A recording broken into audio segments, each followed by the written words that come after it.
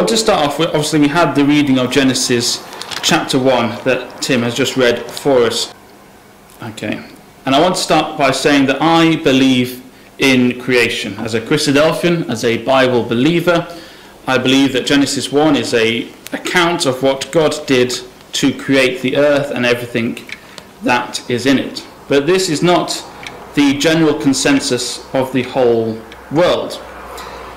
Um, so here is a, a, um, questionnaire that were given to some people in, different countries, and they were asked what they thought and how the origin and the development of human started on Earth. Um, so in Canada, 61% believed that they evolved, 24% created with, within 10,000 years, and 15% were not sure. America, nearly half believed that humans were created within 10,000 years. But for Great Britain, it was quite different. So 68% of people in Great Britain believe that humans evolved over millions of years, and just 16% created within 10,000 and 15% not sure. And, and we, you've seen within the school system and, and just within the general population that e- evolution is just taught as fact nowadays, even though it cannot be proven.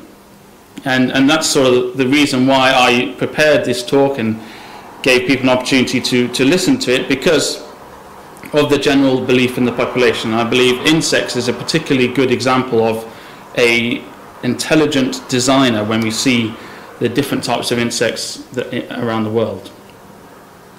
So before we go into our particular subject tonight, um, I just want to think about the idea of evolution and adaptation. Now, I'm no, by no means a biologist or have any real expertise in this uh, particular subject, but there are the main differences between adaptation and evolution, and you'll be able to read through them on the screen.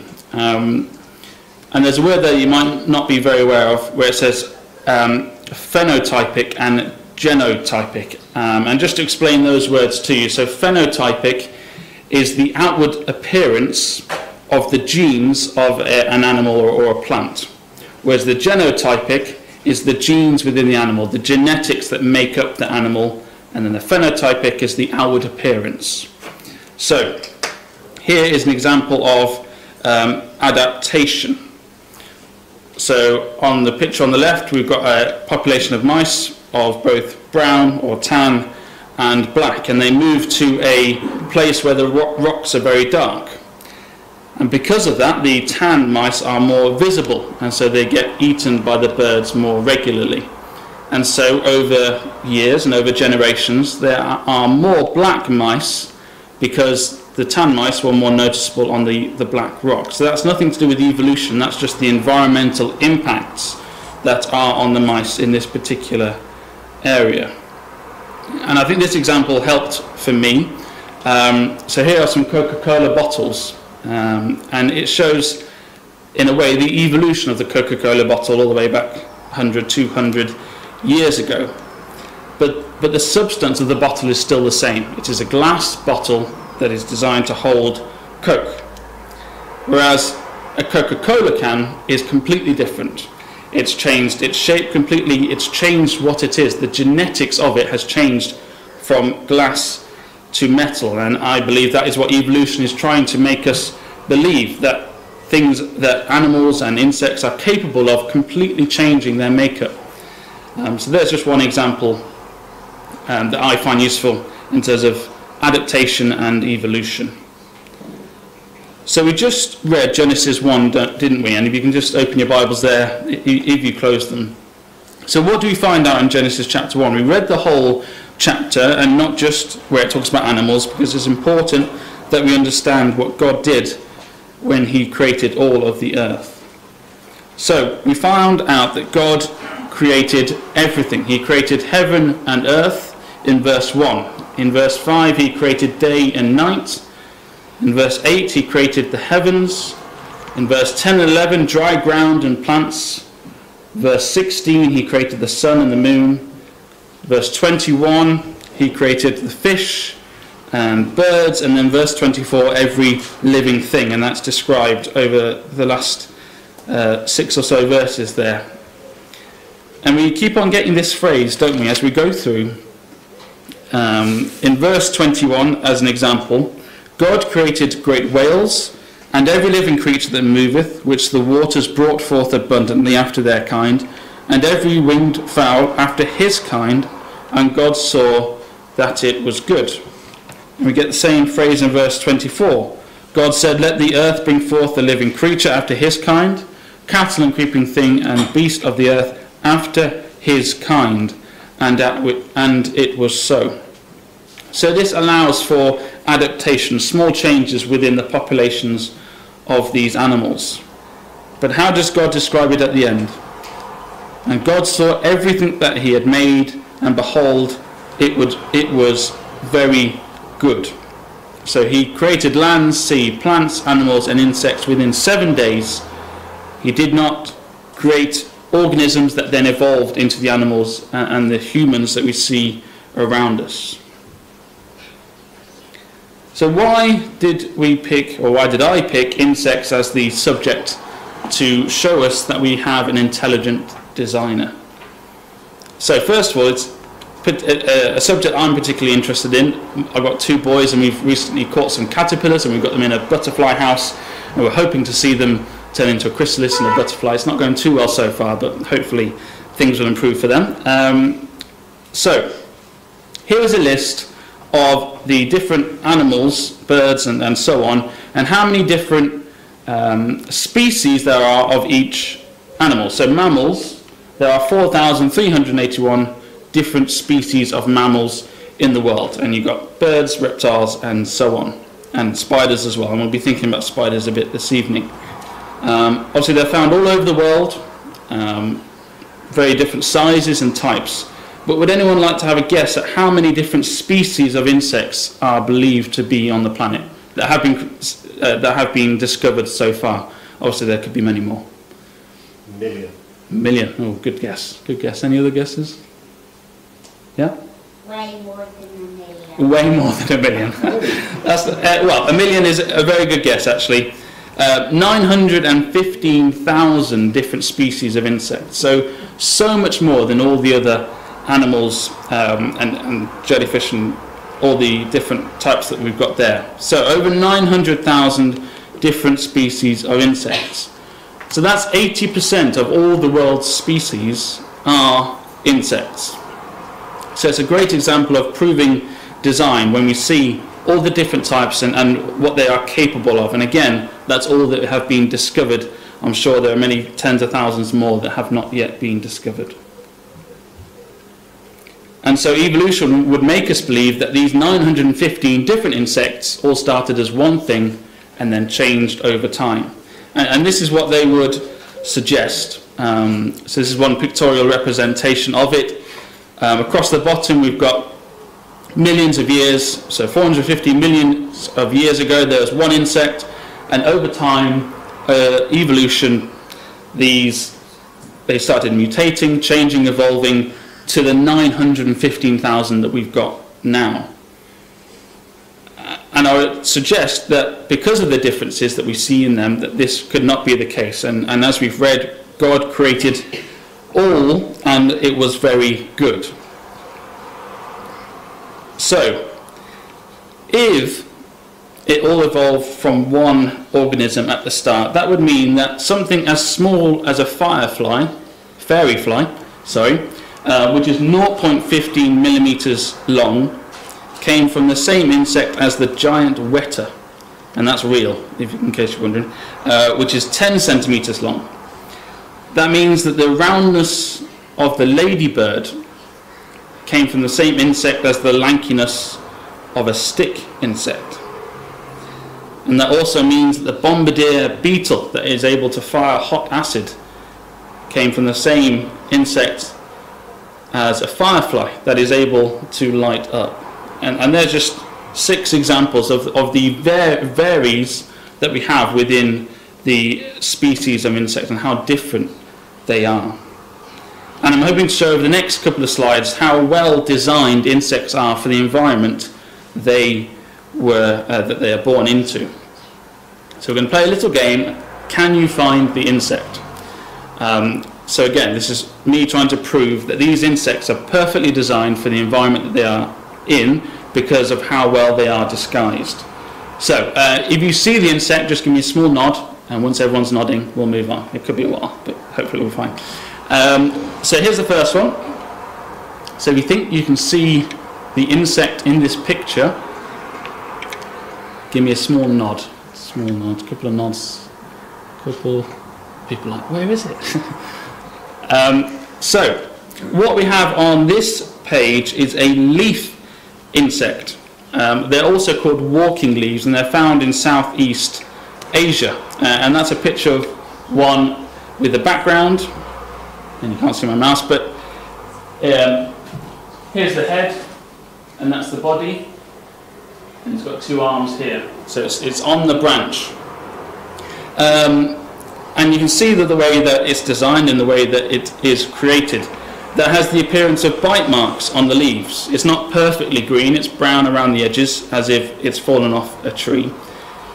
And to further confuse predators, when it, when it walks, it rocks back and forth and it's meant to mimic a real leaf being blown by the wind. Okay, here's another one. Just a normal leaf on a branch. But again, when you look a bit closer, here we have a common baron caterpillar. And that's what it looks like on, on a wooden branch. And you can see how it's perfectly in the middle of the leaf. And when it's sitting there, it's completely well disguised from any birds or any predators that might be looking from above. Um, this is found in Sri Lanka and in fact grows into a, a brown uh, butterfly. Um, but again, perfectly designed to be able to disguise itself. This one's a bit easier. Um, and it's got a very imaginative name, the dead leaf butterfly. Um, but again, if that was on the floor of a, a, forest with all the dead leaves, again, very well hidden. And, and there it is on, on, a green leaf to show the difference. And again, it's got veins, it's got dark patches, it's not completely uniform. Um, again, that's disguised well. Here's another one. So you might recognize the flowers, quite common in, in people's houses. It's an orchid, or some different orchid flowers. But on the top we have something called an orchid mantis, which is found in, in Malaysia and Thailand. Um, and you can see it, the head's up at the top and the body comes down. You can see the colours um, match the plant perfectly. Um, and it climbs up the plant, up to the top of the flowers, and it holds on. And again, it sways around with the wind, and it waits for flies to land on the petals, and then um, has them, uh, eats them. Um, again, perfectly designed, uh, and that's what it looks like when it's on a green leaf. You can see again the colours are, are perfect to be able to blend in to the orchid flower. Now the next one is easy to spot. So, yeah, well done, you found it. So, this is called a giant swallowtail caterpillar. Um, I won't put the picture up of what it's meant to look like because it's meant to look like bird droppings. Um, and you can see the colours and the likeness of it is exactly the same, but I won't put a picture up of it. But again, a predator flying over this particular leaf would not be um, wanting to, to fly down and, and eat this particular caterpillar. Uh, so we'll do a couple more. Um, so here we've got two branches, uh, both with thorns on. But if you look a bit closer on, on the one on the left, we have a branch with no thorns on, but with something called a thorn bug. And again, it's got red tips on all of the insects on the left, the thorn bug. And so when predators, again, are trying to land somewhere, they're not going to want to land on the branch on the left because it believes to be a thorny branch. Um, and bright green, the bright red, it wards predators off from, from landing on that particular branch. And the, the last one's my favourite. Um, so it's called an orange tip caterpillar. Um, and you can see that one, that's good. Um, so here it's on a branch, not particularly good at hiding itself. But when it is aggravated, when it um, can sense um, a predator close, it can make a remarkable transformation. And it's not evolution or adaptation or anything like that. It's, it's the way it, and what it does with its body. So I've got a video here of, of what the orange tip caterpillar does when it is threatened.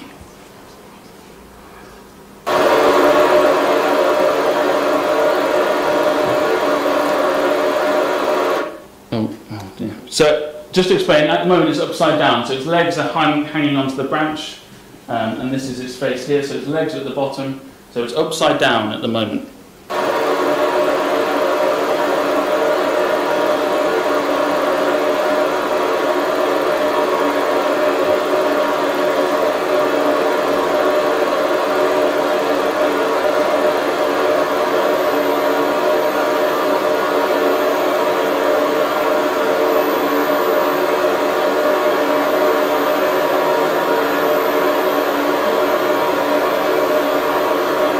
Now, what does it start to look like now? A snake, okay? And it's almost like the sunlight's coming through the leaves, and it's got some white bits at the top of its eyes. And if a predator's looking to eat that caterpillar and it turns into that, uh, it would go away quite quickly. So that's the common baron caterpillar that is able to look um, like a snake when it feels threatened. And it's not like it evolved over millions of years and tried to put the eyes here and the eyes there. It's perfectly designed by God to be able to make itself look like a snake to any predators that might want to might want to eat it. So there's some examples of how insects can blend into the environment that they are that they are in to show the, the design by God, the intelligent design that all these incredible insects are able to camouflage themselves. So now let's spend some time thinking about insects that we find in the Bible. Can anyone shout out any insects that we find in the Bible? I've got three. There might be more, but three. Spider. Spider, yeah. Um, Locust and ants. The- That's the three that we'll be looking at. Well done, everybody. so we'll start by looking at the, the locust. So where do we read of locusts in the Bible? Any uh, youngsters? Um, when Jesus was in the desert. Okay, have a think. Go on then, Luke. John the Baptist, when he was in the wilderness, he ate locusts and honey. Okay, good. Any live locusts anywhere? Egypt. Egypt. Yeah. If you could turn with me, please, to Exodus chapter 10.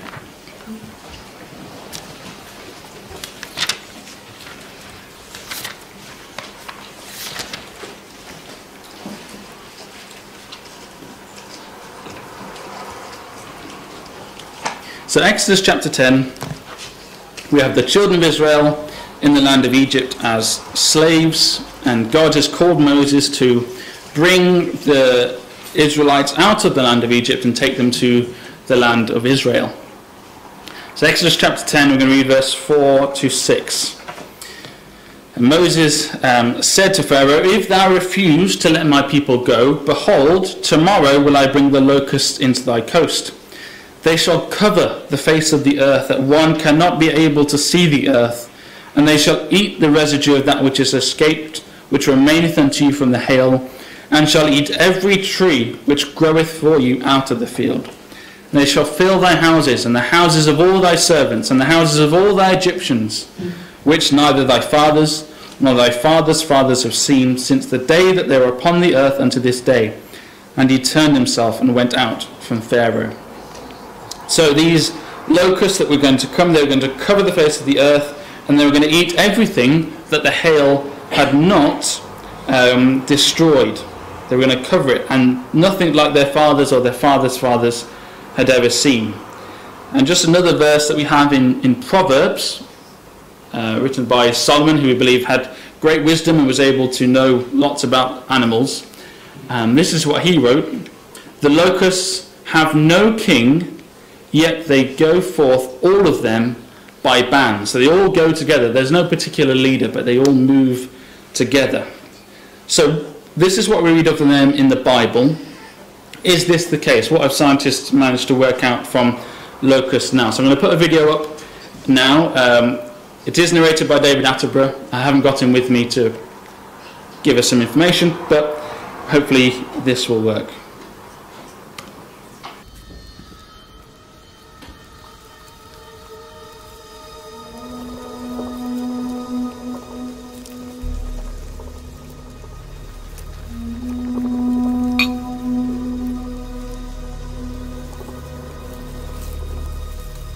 Is no other species on the planet that responds as quickly and as dramatically to the good times as the desert locust. Eggs that have remained in the ground for 20 years begin to hatch.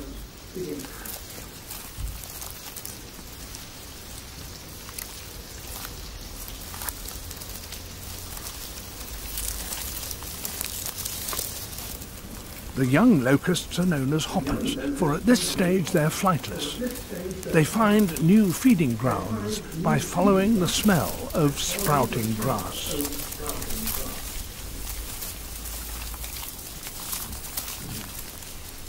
Normally, it takes four weeks for hoppers to become adults. But when the conditions are right, as now, their development switches to the fast track.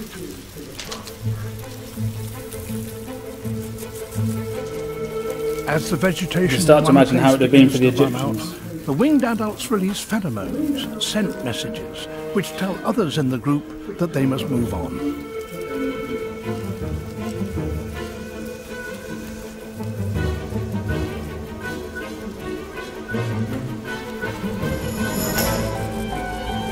And when groups merge, they form a swarm.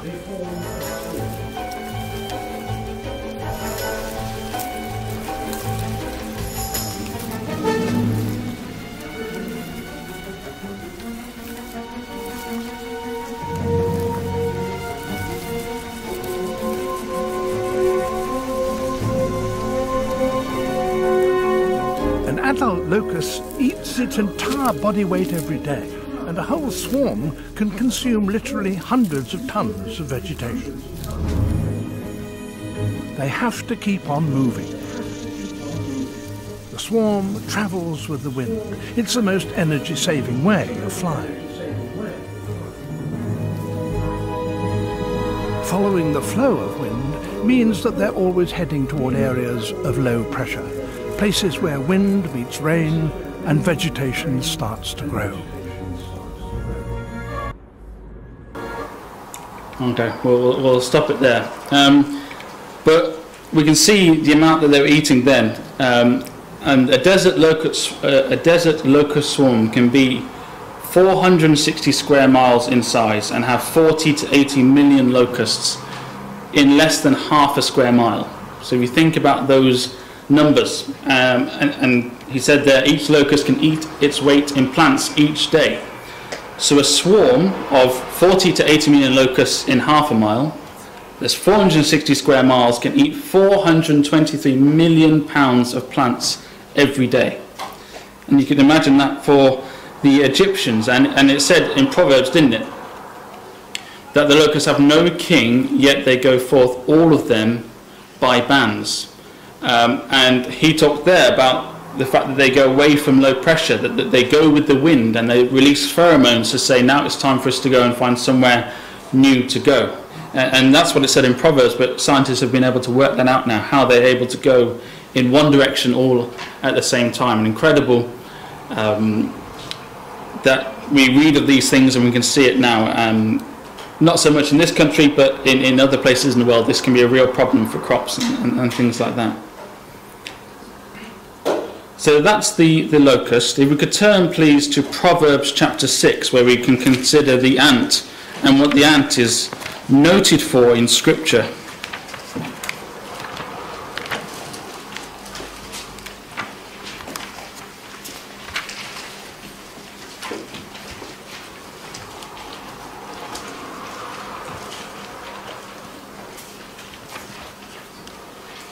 So, Proverbs chapter 6,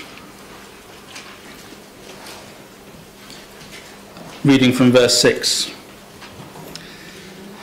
Go to the ant, thou sluggard, consider her ways and be wise, which, having no guide, overseer or ruler, provideth her meat in the summer, and gathereth her food in the harvest. And just on the screen as well, Proverbs chapter 30. There be four things that are little upon the earth, but they are exceeding wise the ants are a people not strong, yet prepare their meat in the summer. So we have the idea that ants, they have no ruler, but they all again go in the same direction. They provide food for billions of ants um, and gather the food in the harvest. And they're strong. They're not strong, but they still can get their food. I haven't got a video um, for this one, but there is an example of ants working together to get food. Um, and there is a particular ant called the longhorn crazy ant, which is able, able to form formations and work together as a group. Um, they can pull heavy food items such as Cheerios, and again, not very big for us, but for an ant, that's a fairly big sized meal. And they all go in the same direction, they move it in the same direction. There are leaders that guide the group, and scientists have looked at this and able to see how, how they work as a team. And again, we read these things in, in the Bible from, from Solomon, from what he knew, but now we can see how scientists can really break it down and understand how they can work together as a team. And then the last one we'll be looking at is um, spiders. So we could turn please to Isaiah chapter 59, which is where we get spiders um, described. And it highlights a particular element of what spiders are able to do. And what I'm sure we all are aware that spiders can do and what they are well known for. So Isaiah chapter 59 verse starting in verse 4 None calleth for justice nor any pleadeth for truth they trust in vanity and speak lies they conceive mischief and bring forth iniquity they hatch cockatrices eggs and weave the spider's web he that eateth of their eggs dieth and that which is crushed breaketh out into a viper so we got the um, the prophet Isaiah talking about people um, who are trying to do mischief and iniquity. They hatch cockatrices' eggs and weave the spider's web. That is what spiders are well known for, aren't they? Their their web, and this is a this is a web of a Darwin bark spider, um, and you can see the length of the web there. And again, we're going to watch a short video about the Darwin bark spider and, and about its web and how incredible um, this particular web is.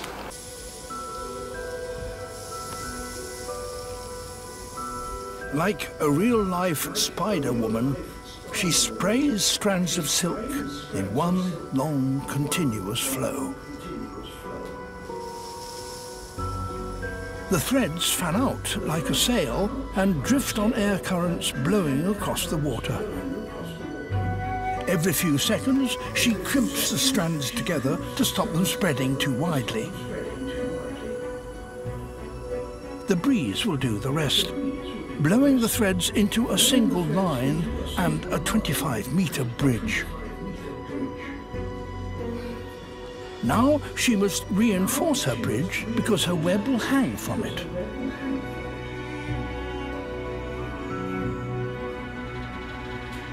but there's something bouncing the line at the other end.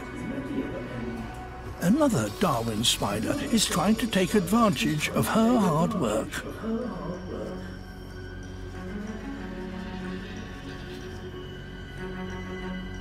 She must deal with the intruder head on.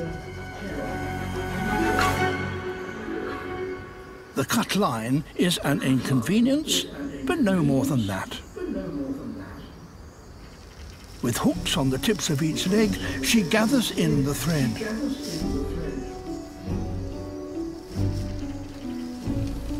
It won't go to waste, as she'll eat it later.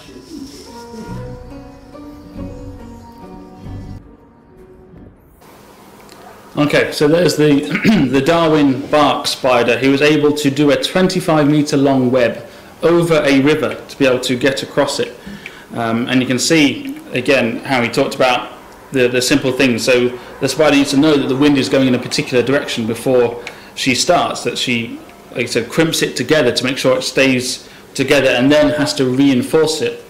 Um, and even if it does get broken, she can just eat 20 meters of web and just reuse it um, to be able to do it straight again. And uh, the video carries on. She just does it straight again, uh, straight after she just does the same web to get across the river.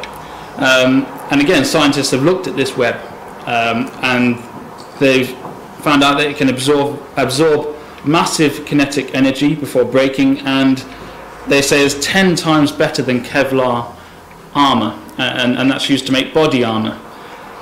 So again, we see this incredible design of this tiny, tiny spider that is able to hold within itself 25 meters of web to be able to get across a river.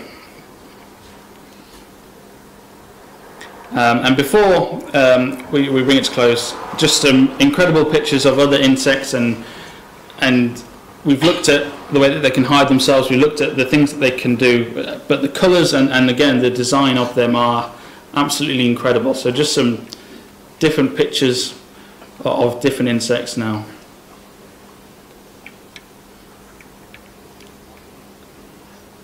The colours and, and the shapes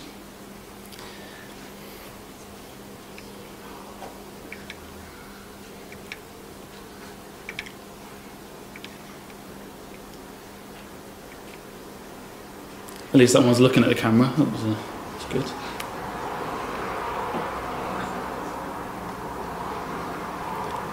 And, these are in, all in the wonderful creation that we can see around. We can look at these insects and, and, and think about how God created all of these insects to help us believe in Him.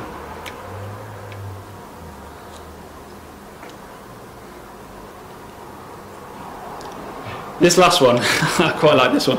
Um, this um, was recently discovered in the last five or so years, um, but it's named after a toy from the 90s, or 80s, maybe 90s. Any ideas what toy that was named after? Not Smurf, but good, good, good guess. They were little, little dolls, and they all had spiky hair. Trolls, yes. So of course, this is called the the troll-haired bug. Um, and scientists weren't able to get pictures of it because it moves so quickly, um, but they finally did, and, and, this is what the, the image is. And again, just so varied the insects that we can see around us, and ones that have been discovered every year. And this one in particular has this incredible plumage of hair, and again, the colours are incredible. So this is the, the troll-haired bug.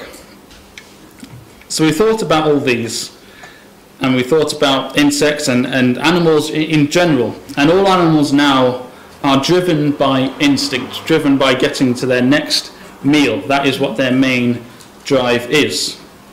But we as Christadelphians believe that Christ will return and set up his kingdom, and at that time things will change. If you could turn with me back to Isaiah chapter 11, please.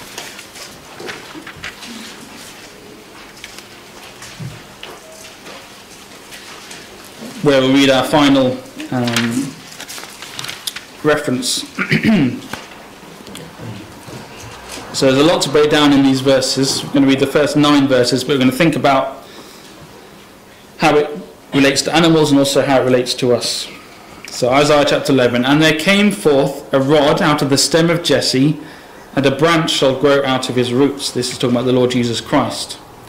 The Spirit of the Lord shall rest upon him the spirit of wisdom and understanding, the spirit of counsel and might, the spirit of knowledge and of the fear of the Lord, and shall make him of quick understanding in the fear of the Lord.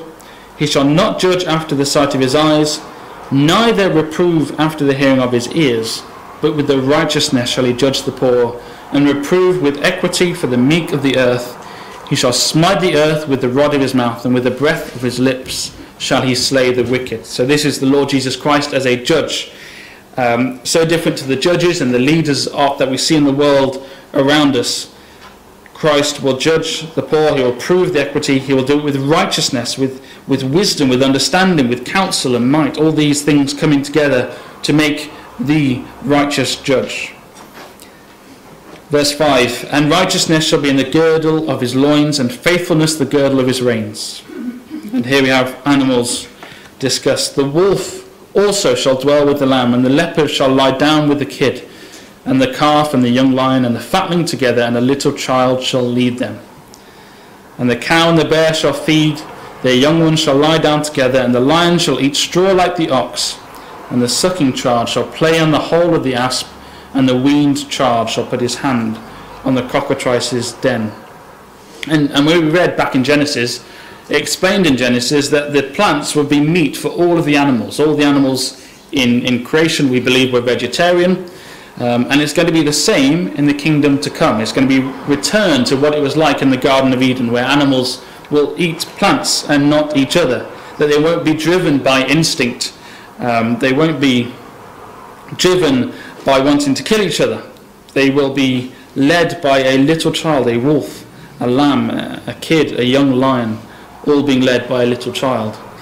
And so I hope this evening you, you found it uh, um, interesting and useful because it can reinforce the fact that God did create the heavens and the earth. And God did so much more than that. God has promised Bible believers so much more than that in the, in, in the Bible of the kingdom to come, a time where there'll be a righteous judge. And so if these things have caught your interest and you want to know more about them, please go on and read more of the Bible and understand and know the promises that we can be a part of if we are willing to accept God and Jesus into our lives. Thank you for your attention.